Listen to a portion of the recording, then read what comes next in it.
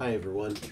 Thanks again for a good week. I hope you don't mind the different angle I'm using. I got a new monitor actually and it's thrown off my webcam a little bit. What I just want to talk about really briefly today are what's up for this week, uh, a little bit on what's up for next week, and then I want to talk a little bit about some of the things we said in the discussion board about interviewing. Um, first off, thanks for pointing some of those things out. You know, I mean, I draw back on my career as a reporter a lot, and I use some of those techniques and maybe that's why I didn't question whether they were sneaky or not.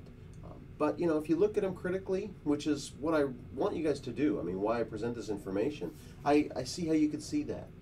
And what that brings out is the balance that reporters have to have.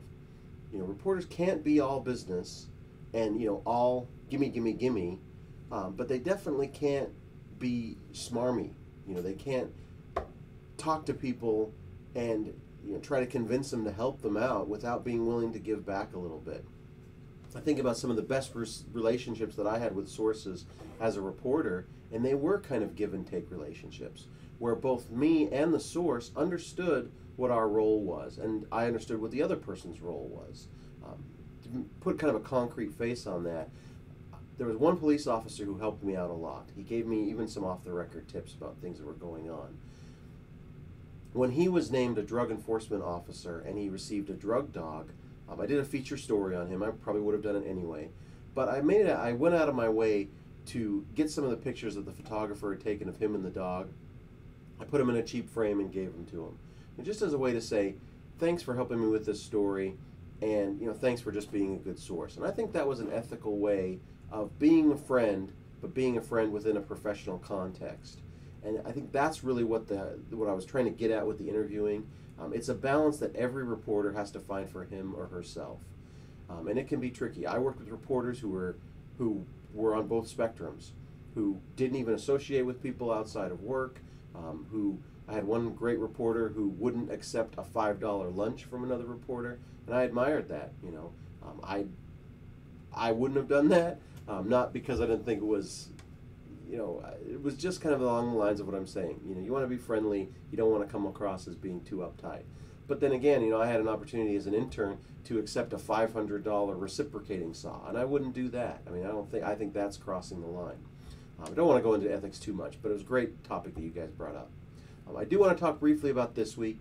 Uh, we're finally getting to the inverted pyramid, to the writing styles. I know it seems like it's taken us a long time to get there, but I think most of you are probably familiar with it already. Um, if you're not, there's a good introduction, good introduction of what the nuts and bolts are of it. Uh, but I wanted to try to focus the discussion this week on why we do the inverted pyramid and what is it good for.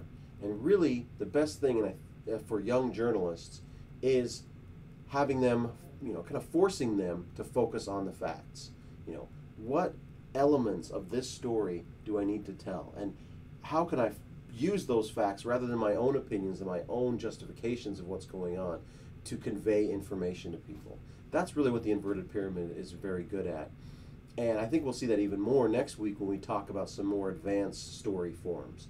Um, you know, ways to use those same facts in a way that's not so formulaic and is a little bit more interesting to read. Um, this summer, I'm actually taking a class here at Ohio University for integrated language arts majors. Um, they're required to take an, a news writing class, and they've really helped me to get some perspective on what news writing is and what it means. The only other thing that I want to mention before I let this video get too long is we're we've kind of got a short week this week because Monday's an official holiday. Um, I'll still be here. I'll still be working, but because we're minus one day, I'm only requiring one original comment on the discussion board and then one comment on someone else's post on the discussion board. Um, everything else is as it always was. You'll have a, a blog due on Friday. Uh, the quiz will run from Tuesday to Saturday. And if you have any other questions about things, please let me know. I'm here and I look forward to working with you and reading your posts. Thanks.